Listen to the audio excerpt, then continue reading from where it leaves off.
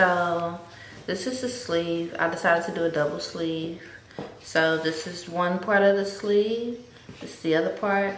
And it's just gonna go in there together like so. The top of the shirt, as you can see where your arm goes. And then this is where I tie.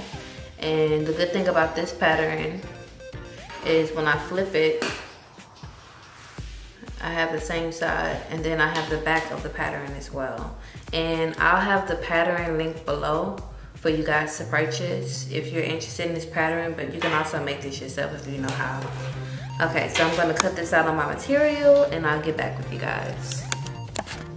Okay, so here's the bell bottom sleeve, here's the top of the sleeve, here's the top of the shirt, and the back is back there. Remember the shirt ties, so this is the tie for it.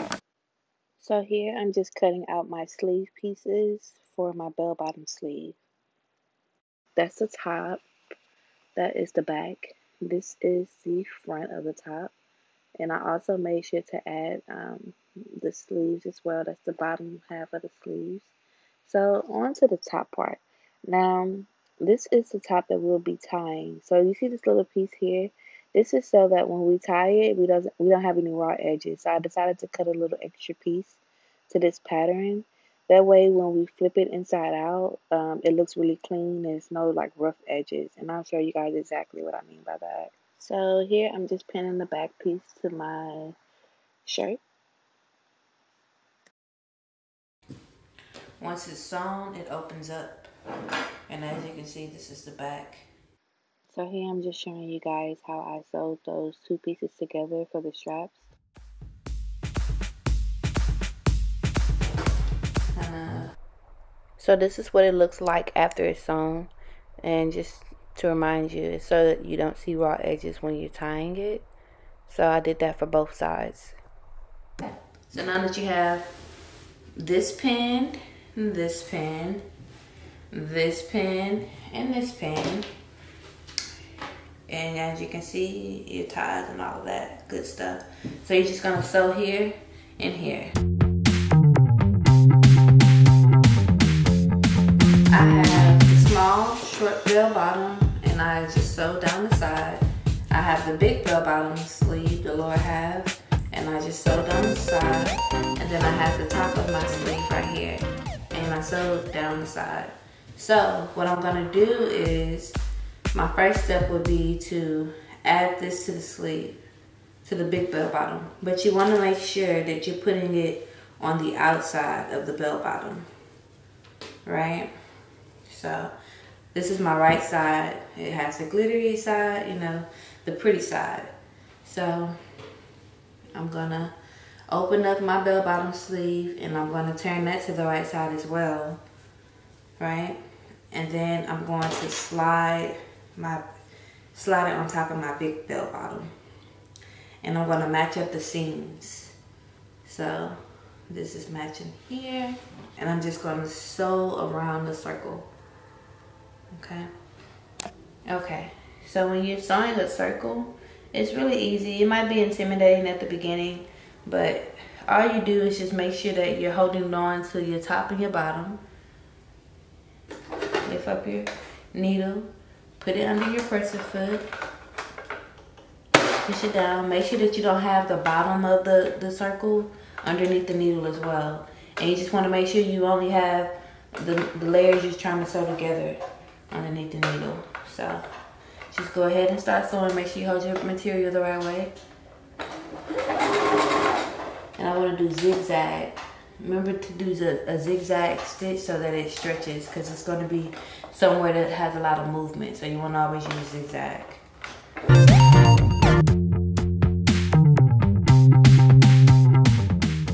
This is sewn onto here. It's a full circle. The top half of my sleeve, I'm going to flip it to the wrong side. Then I'm going to go inside of my sleeve and grab the bottom of the sleeve, right? And I'm going to pull it through. Make sure you have it very um, straight so that you can just sew on top of the stitch that you already have for your belt. I got that pinned away. Again, I'm just gonna check it because I'm anal like that. So you got your raw side here and you got your right side in here. So we're gonna flip it and see what it look like. Cause we're trying to make it look like the other sleeve. And voila, when you flip it, you can see that this is no raw, no raw edges. Here, I'm just pulling the bell sleeve back through the top of the sleeve and I'm going to sew the circle again. And you're basically going to do the same thing I taught you guys earlier as far as sewing the circle. You see, this is all sewn, all the layers are sewn together.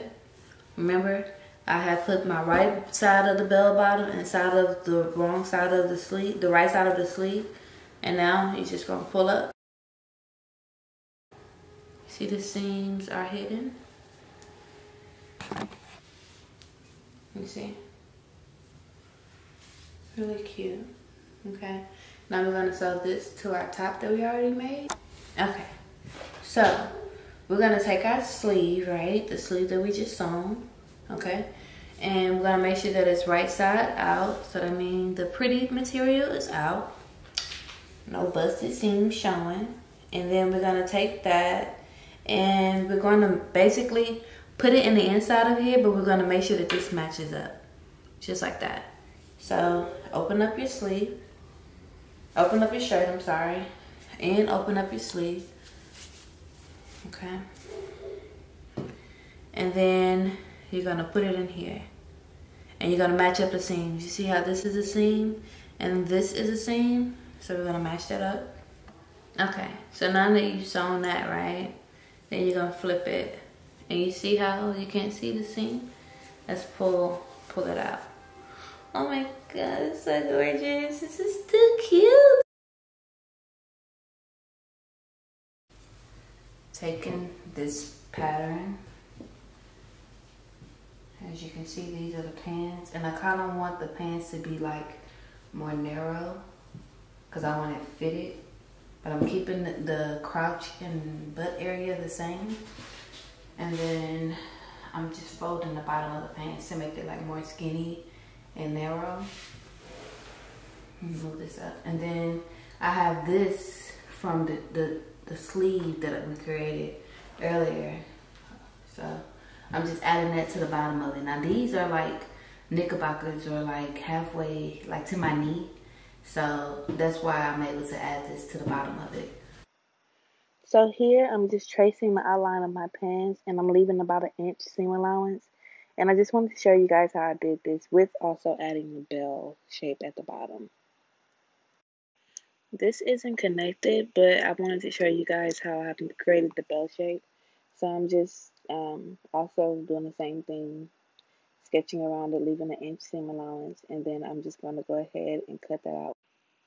So here I'm just showing you guys all of the pattern pieces that I have cut out so far. So these are my bottoms. And these little things here, I wanted to add to the bottoms, the little gauchos, or I can't remember what you call them, but they're little triangle shapes that go at the bottom of the pants. But so here I'm pinning the straps that I'll be using, and I'm also showing you guys the triangles that I'm putting on the side of the bottom of the bell bottoms, the little cutouts I showed you. So how I cut them, you have to fold them and pin them in and then I'm just pinning that to the other side of the pants. So I'm going to show you guys what I mean. Once I sew them together, you guys will see how this makes a little triangle at the bottom of the pants.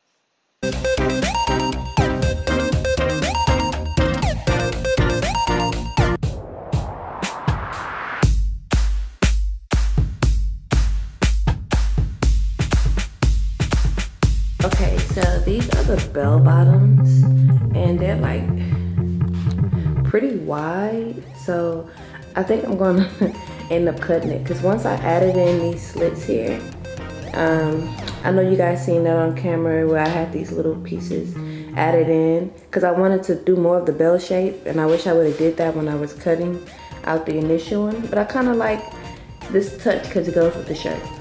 So these are kind of long, so I think I'm to end up cutting them just to fit me. These are the um, suspender straps that I'm going to attach to the top. You never want to sew on the outside, right? So where someone can see. I'm going to sew, if you see here, I have an extra piece of material. That's where I'm going to sew these suspenders to. Okay, so for putting in the straps, what you want to do is, I already have a chalk mark here. So what I'm going to do is I'm going to measure. So from the center, the center seam to here is about five and a half. So I'm going to do the same thing over here. I have both marks here and here, and I have the same thing on the other side of the pants. See here and here. And then I'm just gonna take my straps, right? What I, what you wanna pay attention to, this is what you wanna sew it to. You're gonna sew it to this flap, right? Okay, so I have the line right here. And the good thing is it's falling like in, in the middle of the, um, the strap. So I wanna hide that line. So I want that to be against my body so that means where the waistband is, right? You're gonna put that facing the wrong side too. So, so go ahead and pin that to the flap and the wrong side. And this is what it's gonna look like um, on the outside once you pin that. So I'm just showing you guys what it looks like pinned. I always wanna check.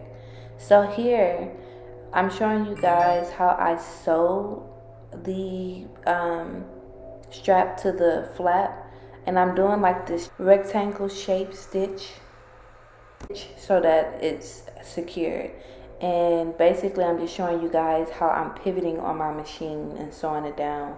So you just want to make sure that you're sewing this to where it's secure. So that's why you see me rotating so many times and creating this square like stitch.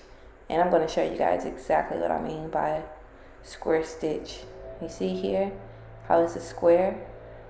That's what you want to make sure that the suspenders don't pop up. You don't want to just do a straight stitch because it won't stay. So you need something to secure it. And that's what it looks like on the outside. It's sewn to the flap so you can't see it from the outside. And yeah, you guys, you're ready. Thank you so much for watching. Please remember to like, comment, and subscribe. And let me know what you guys want to see. I look forward to hearing from you.